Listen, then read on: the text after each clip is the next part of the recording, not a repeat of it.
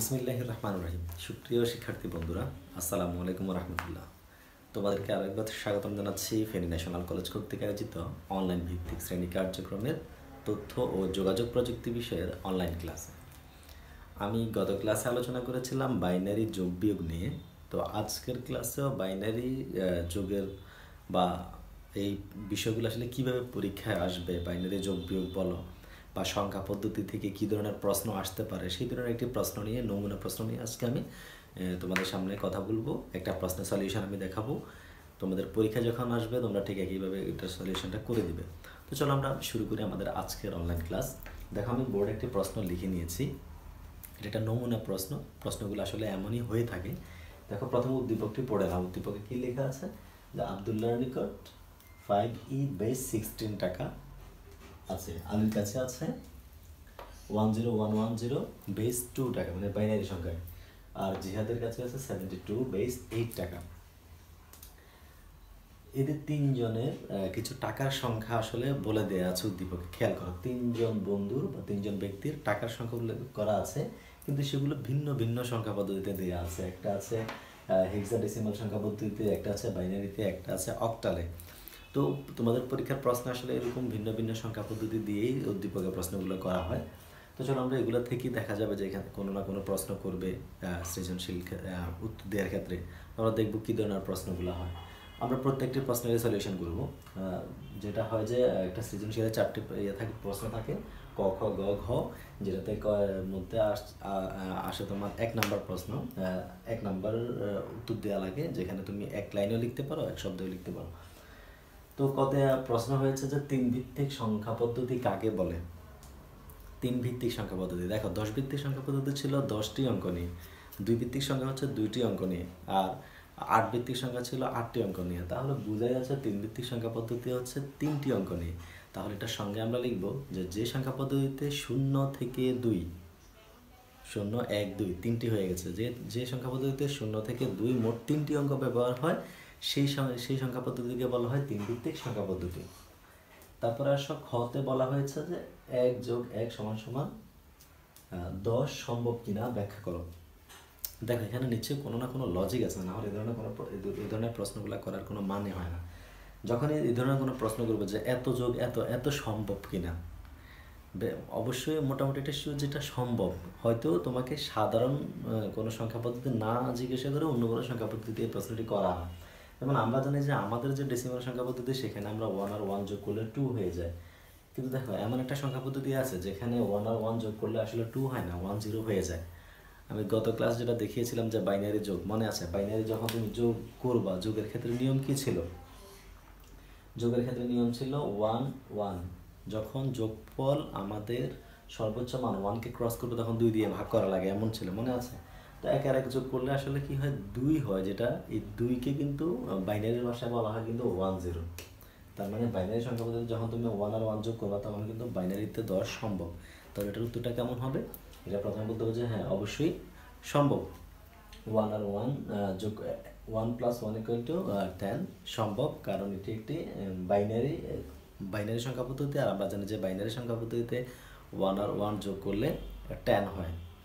যার মানে যদি আমরা দশমিক সংখ্যা পদ্ধতিতে করতাম, সেটা হয়তো দুই হতো, কিন্তু বাইনারিতে করলে বাইনারি দুইটা অঙ্কের বা দুইটা বিটের যোগফল কিন্তু টেন হচ্ছে। তো এবার আসলে আমরা গরুর গোটা দেখিনি গরুর গোটা কি বলা হয়েছে? ওখানে বলা হয়েছে যে জিহাদের টাকার পরিমাণ বাইনারিতে প্রকাশ করো। জিহাদের টাকার পরিমাণ বাইনারি। জিহাদের টাকা কোনটা দেখো তো? Seventy two base eight sorry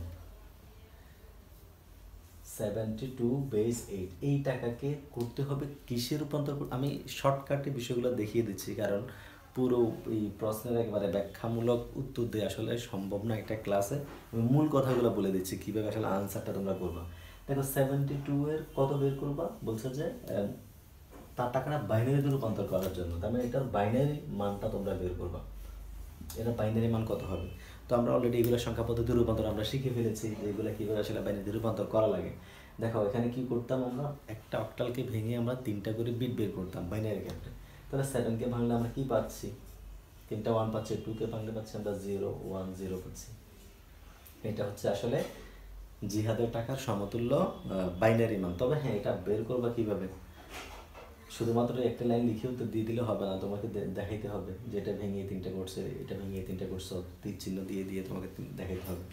তখন এটা সমতুল্য মান বের হবে এত এটা হচ্ছে গরুর উপর প্রশ্নত জিয়াদের টাকার পরিমাণ আমরা বাইনারিতে বের করলাম। এবার আসো ঘোড়ার গতে যেটা বলা হয়েছে যে চার মার্কস চার মার্কসের জন্য যে প্রশ্নটি করা হয়েছে, এটা একটু আসলে ব্যাখ্যামূলক হয়, বড় হয়। তবে আমি যতটুকু সম্ভব শর্টকাট আমি দেখানোর চেষ্টা করছি।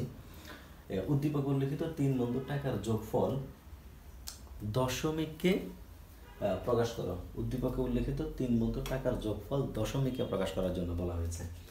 তার মানে এখানে যে তিন বন্ধু টাকা দেয়া আছে, এটা এক এক সংখ্যা পদ্ধতিতে এটা দেয়া আছে। আমরা যেটা করব যে তিনটাকে যোগফল, যোগ করে যোগফলটা আমরা দশমিকে প্রকাশ করব। এটা আসলে দুইভাবে করা যাবে এখানে। তুমি চাইলে যে দিক থেকে আসো রেজাল্ট একটাই আসবে। তিন বন্ধুর টাকা যোগফল কোন সংখ্যা পদ্ধতিতে সেটা বলা হয়নি। যদি বলা হতো যে বাইনারিতে যোগ করে দেখাও, তাহলে তোমাকে অবশ্যই বাইনারিতেই করতে হইতো।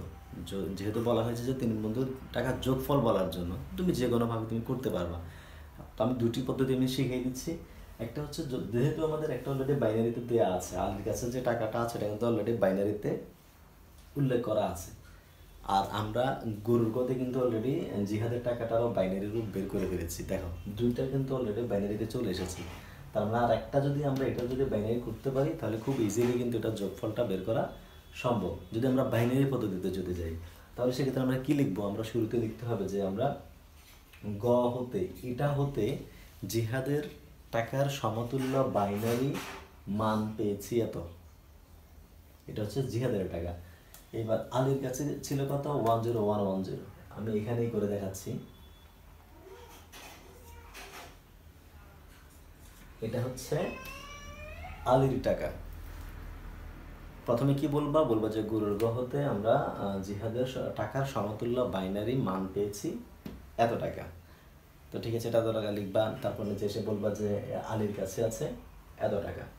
আবদুল্লার নিকট যে টাকাটা আছে, এই টাকাটাকে তুমি যদি বাইনারিতে নিয়ে আসতে পারো, তবে ইজি হয়ে যাবে। তো আবদুল্লাহ টাকাকে বাইনারিতে কীভাবে নিয়ে আসবা? মানে এই সংখ্যাটাকে তুমি যদি বাইনারিতে প্রকাশ করতে চাও, তাহলে কীভাবে করবা? প্রত্যেকটা বিটকে ভেঙে চারটি বিটে চলে যাবে, মনে আছে? আমরা সংখ্যা পদ্ধতির বন্ধুরা, আমরা শিখেছিলাম। তাহলে এটাও চারটা বিট হবে, এটাও চারটা বিট হবে। আমরা ই মানে কত ছিল? ই মানে ছিল চোদ্দ। তো চোদ্দকে যদি তুমি ভাঙো, কাকে কাকে পাবা? ওয়ান টু ফোর এইট কাকে কাকে লাগবে? এটা লাগবে এটা লাগবে এটা লাগবে। আচ্ছা বাবা দুই চোদ্দ। এটা হচ্ছে ই এর মান। ট্রিপল ওয়ান জিরো তাহলে ট্রিপল ওয়ান জিরো আর ফাইভ চার লাগবে, এক লাগবে, আর দুইটা লাগবে না তাহলে জিরো ওয়ান জিরো ওয়ান এইবার যেটা করবা, তিনটাকে যোগ করে ফেলবা। যোগ করার পর কি হবে? আমি করে দেখাই দিচ্ছি। জাস্ট আমি এখানে শর্টকাটে করার জন্য আসলে এভাবে ছোটো করে করছি। তোমরা অবশ্যই এটা বিস্তারিত লিখবা।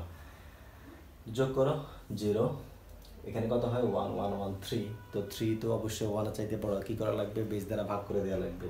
তিনকে ভাগ করলে আমরা জানি ওয়ান পাবো। ক্যারি ওয়ান থাকবে। ওয়ান চলে যাবে এখানে। আবার তিন হয়ে গেল। আবার ওয়ান আবার ক্যারি ওয়ান হয়ে গেল। চলে আসছে এখানে তিন।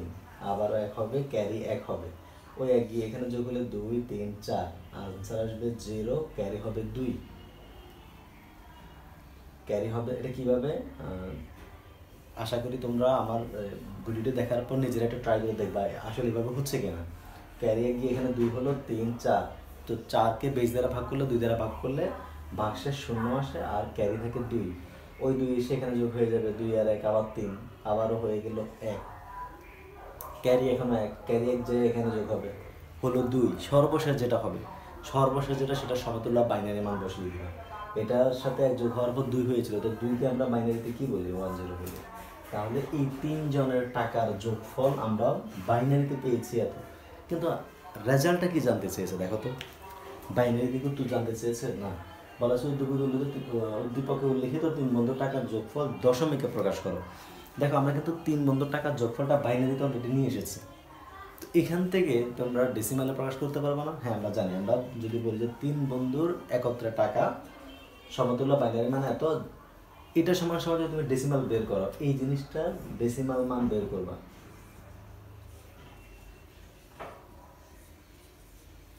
এটা ডেসিমাল মান কীভাবে বের হবে? মনে আছে? এই সংখ্যা পদ্ধতি কি ছিল? প্রত্যেকটার সাথে, প্রত্যেকটা অঙ্কের সাথে তোমাকে গুণ করতে হবে। কাকে? দুইকে। মানে one into two plus zero into two plus one into two plus এভাবে প্রত্যেকটার সাথে গুণ, দুইকে গুণ করার পর দুইয়ের উপরে পাওয়ারগুলো বসিয়ে দেবে। ঠিক যেভাবে আমরা করেছিলাম। ফাইনালি যে রেজাল্টে আসবে যোগফল সেটা হচ্ছে তাদের মোট টাকা। সেটা দশমিকে চলে আসবে, সেটাই উত্তর। এটা ছিল আমাদের বাইনারি পদ্ধতিতে গিয়ে যদি আমরা যদি করি, তখন আমাদের এই প্রসেসে গেলে আমাদের এবার উত্তর হবে। আর যদি আমরা বাইনারি প্রসেসে না গিয়ে থাকি, আমরা যদি সরাসরি এগুলোকে প্রত্যেকটাকে আলাদা আলাদা দশমিক করে ফেলি মানে এই অঙ্কটা তুমি যদি বলো যে আব্দুল্লাহ নিকট আছে এত টাকা যা সমতুল্য ডেসিমাল মান, এটার ডেসিমাল মান কত হবে? যদি তুমি এটার ডেসিমাল মান বের করো, যদি তুমি এটারও ডেসিমাল মান বের করে ফেলো, যদি তুমি এটারও ডেসিমাল মান বের করে ফেলো, আমি উদাহরণ হিসেবে বললাম, একটা এক্সাম্পল হিসেবে বললাম যে একটা, মনে করো এই লোকের এইটার সমতুল্য ডেসিমাল মান মনে করো, ধরে নিলাম আমরা পঞ্চাশ টাকা, এটা বের হলো মনে করো তিরিশ টাকা, এটা ধরে নিলাম মনে করো ষাট টাকা এই তিনটাকে যোগ করলে যা হবে সেটাই আসলে ডেসিমাল মান তো এইভাবে তোমরা করতে পারো। তোমরা চাইলে প্রত্যেকটা সংখ্যাকে ডেসিমালে এনে এনে এটা যোগ করতে পারো। অথবা আমরা যে বাইনারিতে করেছিলাম প্রত্যেকটাকে অলরেডি দুইটা বাইনারি করা আছে ওই জন্য আর এটাকে বাইনারিতে নিয়ে যোগ করলেও সেটাও করা যায়। তো এইভাবে যোগ করে আসলে যোগফলটা সমতুল্য ডেসিমাল মান বের করে দিবা, এটাই হচ্ছে উত্তর। তো এইভাবে আসলে অঙ্কগুলো করতে হবে। এরা কখনোই তোমাকে সরাসরি বলবে না যে বাইনারি টু বাইনারি যোগ করার জন্য। তোমাকে অন্য কোনো একটা সংখ্যা দিবে, ওই সংখ্যাটাকে এনে রূপান্তর করে তারপর তোমাদেরকে যোগ বিয়োগগুলো করা লাগবে। তো আশা করি তোমরা প্রশ্নের উত্তরটা তোমরা বুঝতে পেরেছ, কীভাবে এটা আনসার করা লাগে। এরপরে যদি সমস্যা হয় তো আমি আছি। অবশ্যই শেয়ার করবা। যারা নিয়মিত অলরেডি ক্লাস করেছ তোমাদের, এই বিষয়টি নিয়ে, বিশেষ করে এই বাইনারি যোগ বিয়োগের ইয়াগুলো কিন্তু অলরেডি আমি ক্লাসে কিন্তু কয়েকবার দেখিয়ে দিয়েছি এবং তোমাদের কয়েকবার আমি হোমওয়ার্কও নিয়েছিলাম যখন আমাদের করোনার পূর্বকালীন সময়, যখন আমাদের ক্লাস খোলা ছিল। এবং তখন মোটামুটি অনেকে দেখেছিলাম যে ভালো করেছ। তো ফাইনালি আসলে এখনও আরেকবার এটা করার মানে হচ্ছে জাস্ট একটু রিপিট করে দেওয়া আর একটু মনে করিয়ে দেওয়া যে আমরা কীভাবে করেছিলাম অঙ্কগুলো। তো আশা করি সমস্যার সমাধান হয়েছে। আজকে এই পর্যন্তই থাক, তোমাদের সাথে আবার দেখা হবে। বাইনারি যোগ বিয়োগের পরে নতুন আর একটা টপিক্স নিয়ে আমি আগামী ক্লাসে কথা বলব। তো সে পর্যন্ত সবাই ভালো থাকো সুস্থ থাকো। আল্লাহ হাফিজ।